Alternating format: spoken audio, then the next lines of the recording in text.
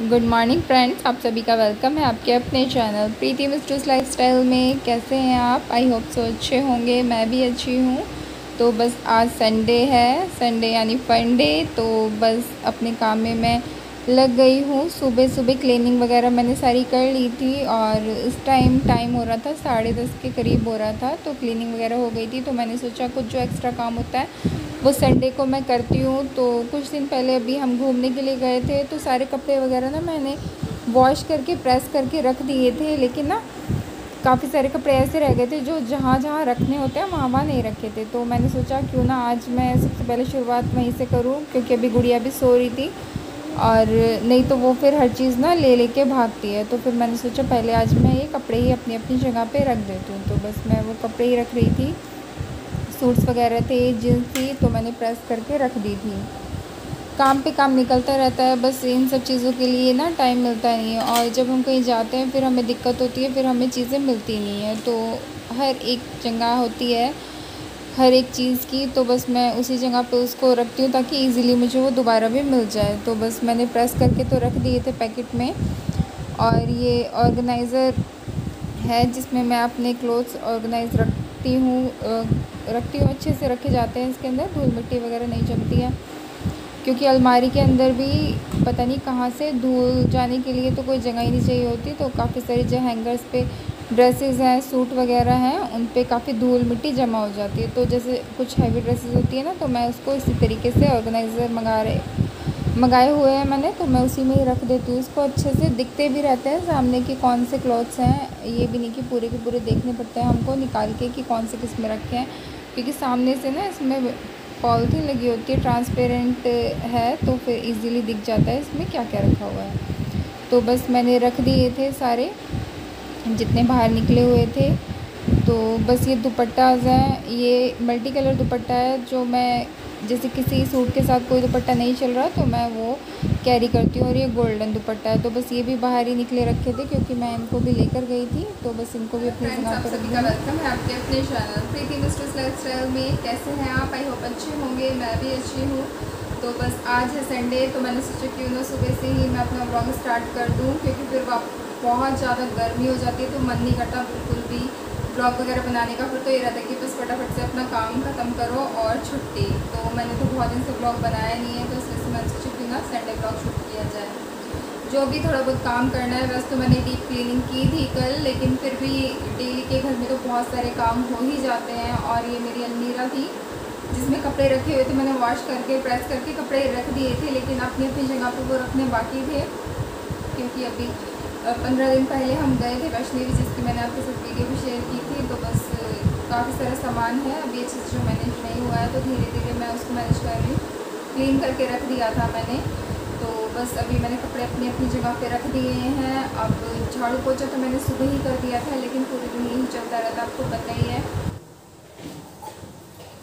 तो बस किचन में आई हूँ, क्योंकि मैंने दूध बॉयल किया था और वो निकल गया।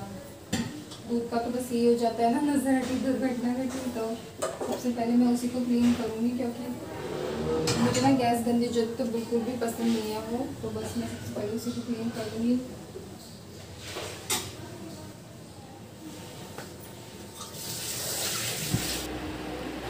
तो बस ब्रेकफास्ट वगैरह तो बन गया था तो मैंने दूध बॉईल करना रखा था ये सब चीज़ों के बाद तो ना दूध बाहर निकल गया, फिर मैं अंदर चली गई थी ना काम करने के लिए। अगर जो सामने खड़े रहो तो फिर देखते रहो और बस ये तो ये हो जाता नज़र हटी दुर्घटना घटी वाला हिसाब किताब और एकदम से फिर पता गैस चूल्हा भी ना गंदा हो जाता है और कई बार ऐसा होता है अंदर बर्नल के चला जाता है तो धुआँ देने लगता है। तो बस मैंने सोचा कि पहले इसको गैस को साफ़ कर देती हूँ और अच्छे से गैस साफ़ कर दूँ, क्योंकि पहले मैंने अच्छे से गैस नहीं साफ़ की थी, वैसे तो कर दी थी। लेकिन अब मैं थोड़ा सा इसको इसको स्प्राइट से कर दूँगी। थोड़ा बहुत चिकनाहट जैसे लग जाता है ना गैस पे, थोड़ा बहुत तो बस साथ के साथ साफ़ कर दो तो क्लीन रहती है गैस। तो मैं अब अच्छे से इसको एक बार क्लीन कर दूँगी। थोड़े बहुत बर्तन हैं, वो भी कर लूँगी।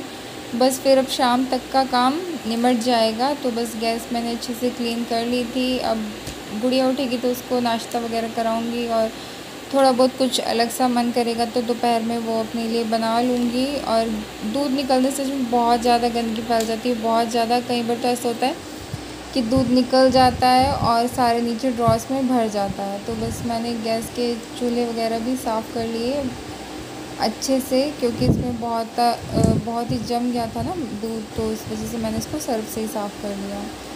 तो बस मैं किचन साफ़ करके आ गई थी, जो बर्तन थे सिंक भर रखी थी तो बस वो भी मैंने क्लीन कर लिए थे। और अब मैं जैसे सारा सामान एक सा कर रही थी तो यहाँ पर भी फैल गया है दोबारा से तो एक बार मैं अच्छे से सोफ़े के कवर झाड़ लूँगी, क्योंकि मैं मॉर्निंग में अच्छे से इनको नहीं झाड़ पाई थी, बस मैंने ऐसे क्लीन कर दिया था, फिर वापस मैंने झाड़ू पोछा कर दिया था। तो बस मैं एक बार अच्छे से बिछा लूँगी ताकि शाम तक ये चल जाए। बस तो दिन में दो तीन बार इनको झाड़ के बिछाना पड़ता है, क्योंकि छोटे बच्चे होते हैं ना तो फिर वो बहुत ज़्यादा इधर उधर गंदगी करते हैं। और ये तो कभी कभी नीचे भी उतर के गिर जाता तो मैं इसको आधा सा दबा देती हूँ ताकि ये अच्छे से बिछा रहे इस पर और निकले ना। तो बस अब मैं इसको झाड़ दूँगी। सोफ़ा भी वाइट कलर का है तो उस पर भी काफ़ी सारी डस्ट जमती है और देखिए ये पेंसिल है। तो बस पेंसिल सोफ़े के इसमें चली जाती है, पता भी नहीं चलता। फिर जब क्लीनिंग होती है तो कहीं कहीं पेंसिल कॉम पता नहीं क्या क्या मिलता है इसके नीचे से। तो बस अब मैं इसको झाड़ के बिछा दूँगी। और गुड़िया भी सो रही है, नहीं तो वो काफ़ी मतलब आगे पीछे फिरती रहती है। परेशान तो नहीं करती, खैर। थोड़ी तो अब बड़ी हो रही है तो परेशान तो ज़्यादा नहीं करती, लेकिन आगे पीछे फिरती रहती है कि, मम्मा, ये दे दो, मुझे ये टॉय से खेलना है, मुझे ये चीज़ करनी है। तो बस यही सब करती रहती है तो अभी सोई हुई है तो थोड़ी शांति है।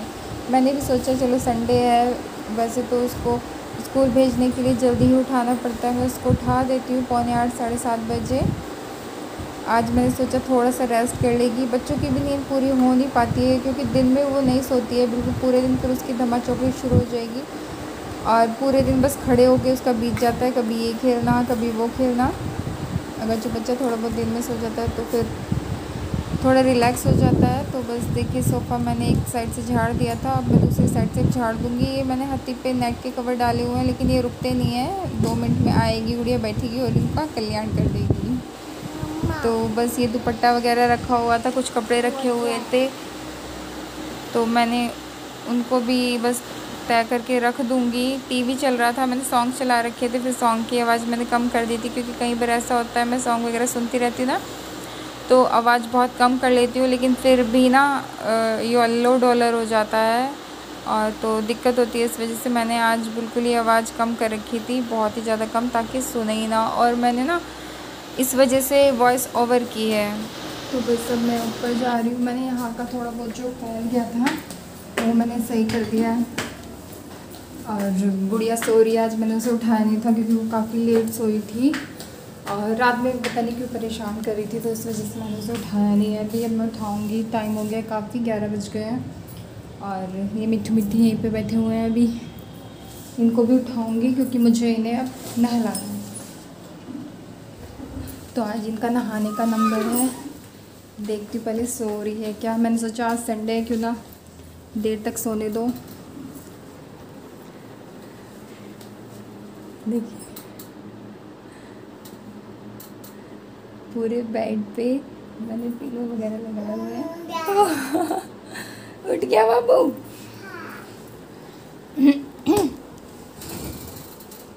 गुड मॉर्निंग करो सबसे।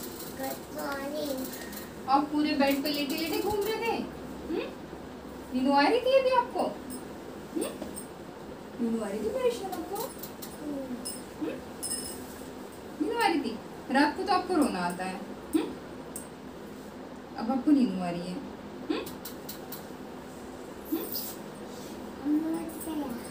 रात को आप रोते क्यों है बताओ।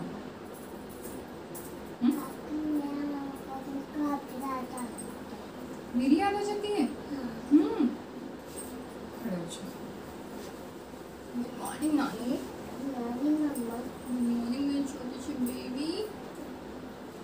अच्छा बच्चा।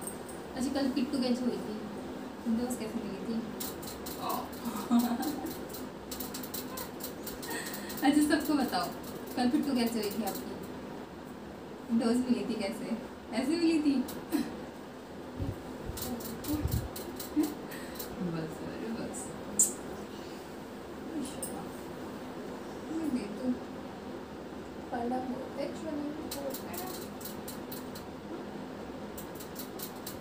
तो कैसे होता है कैसे होता है तो कैसे होता है बता हिलता कैसे कैसे पापा किसको कैसे करते हैं? कैसे पापा फिर कैसे है कैसे है और फिर स्टॉप कैसे होता है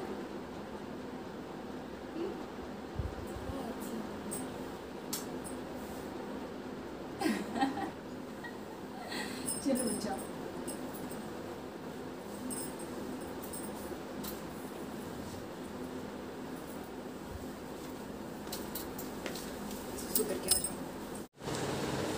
तो बस क्लीनिंग तो यहाँ की भी हो गई थी और बस गुड़िया सो रखी थी तो मैं इस कमरे में नहीं आई थी तो बस अब बेड भी एक सा कर दूँगी। ब्लैंकेट ओढ़ी हुई नहीं थी उसमें तो मैं इसको भी फोल्ड करके रख गई थी।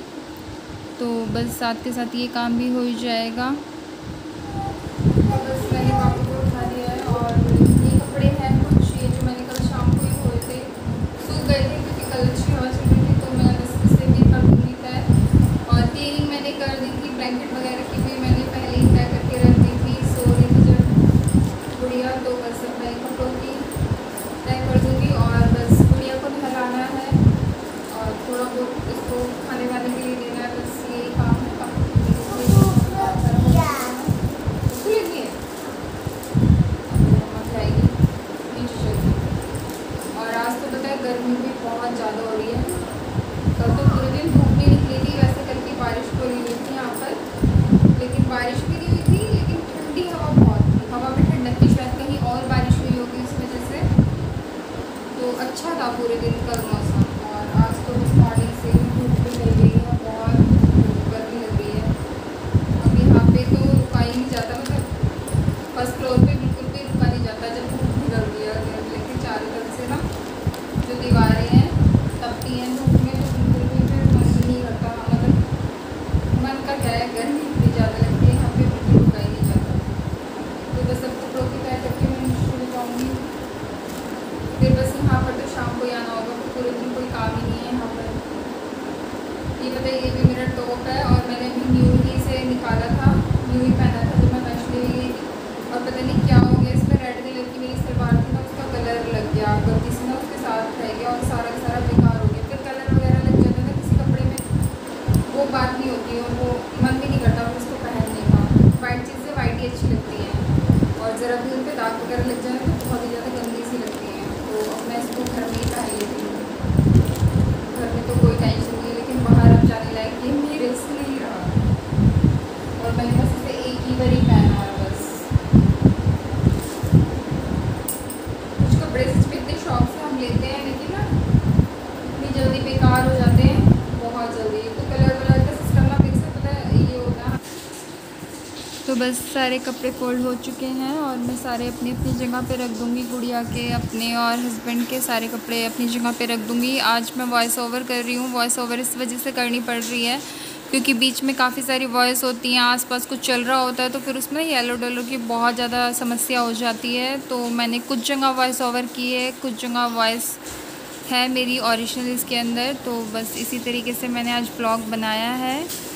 तो बस अब मैं कपड़े फोल्ड करके आ गई थी तो मुझे थोड़ा सा ना यहाँ पर वो लगाना था, पोचा, क्योंकि काफ़ी सारी धूल मिट्टी यहाँ पर भी इकट्ठी हो रही थी तो मैंने सोचा इस वाले जीने पे लगा देती हूँ मैं पोचा।